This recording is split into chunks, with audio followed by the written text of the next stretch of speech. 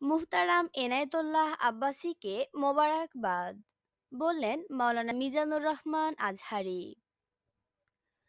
Face the People নামের একটি Facebook পেজে হওয়া এক টকশোতে অংশ নিয়েছিলেন জৈনপুরের পীর মাওলানা ডক্টর এনায়েতুল্লাহ আব্বাসী ও ঘাতক দালাল নির্মূল কমিটির সভাপতি শাহরিয়ার কবির। রোববার বিশে ডিসেম্বর রাত নয়টায় অনুষ্ঠিত হয়েছে টকশোটি এতে ইসলাম বিরোধী বিভিন্ন প্রশ্নের প্রজ্ঞাপূর্ণ উত্তর দিয়ে সর্বমহলে প্রশংসা করেছেন মাওলানা ডক্টর আব্বাসী। তার প্রশংসা করেছেন খ্যাতিমান ইসলামিক স্কলার মাওলানা মিজানুর রহমান আজহারিও।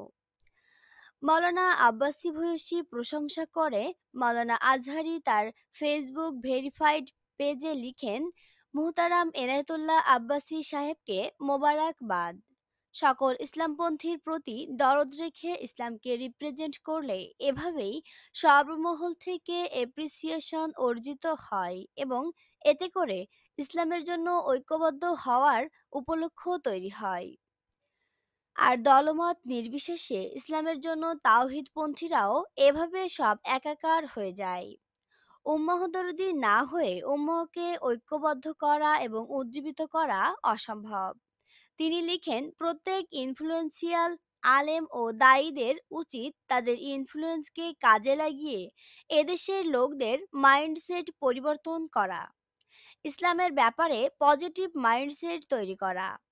আপনাকে জাগতে হবে, জাগাতে হবে এবং ভ্যালু ক্রিয়েট করতে হবে।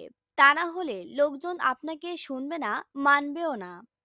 আর সেটা হবে গবেষণাধর্মী, সমাজমুখী এবং উৎপাদনমুখী কাজের মাধ্যমে। আলেম ওলামাদের কোরআন, সুন্নাহর জ্ঞানের পাশাপাশি কনভেনশনাল জ্ঞানেও সমানভাবে দক্ষ হতে হবে। তিনি আরও লিখেন, চলমান জাহেলিয়াতের চ্যালেঞ্জ মোকাবেলায় আমাদের আলেম ওলামাদের তেমন কোনো প্রজেক্ট নেই। কারণ তারা নিজেরা নিজেদের মধ্যেই চ্যালেঞ্জ ছুড়তে বেশি ভালোবাসে।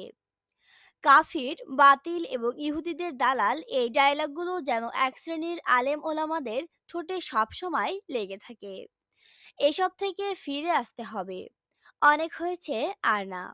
একে অন্যকে শত্রু জ্ঞান না করে রুহামাও বাইনা হুম তথা একে অন্যের প্রতি কোমল ও সৌহার্দ্যপূর্ণ হতে হবে।